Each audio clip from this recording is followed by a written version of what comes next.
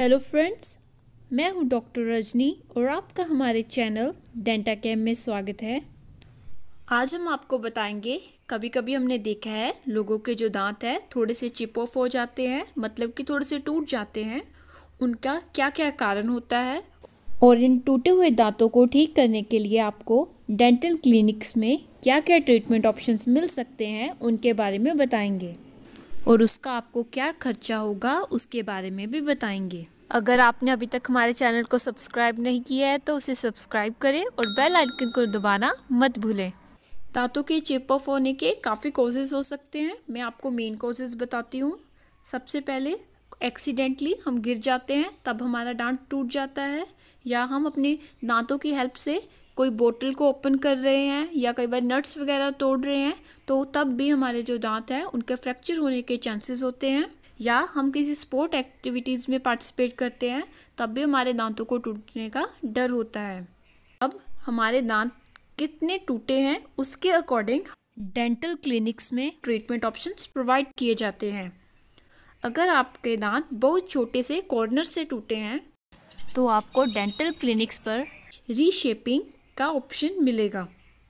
इसमें हम आपके दांतों को थोड़ा सा रीप्रिपेयर करके रीशेप करते हैं ताकि वो एस्थेटिकली अच्छा लगे।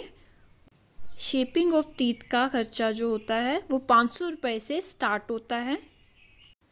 अगर आपके दांत मीडियम रेंज में टूटे हैं, जैसे कि फ़ोटो में दिख रहा है तो आपको डेंटल क्लिनिक्स पर कॉम्पोजिट लेज़र फिलिंग प्रोवाइड की जाती है।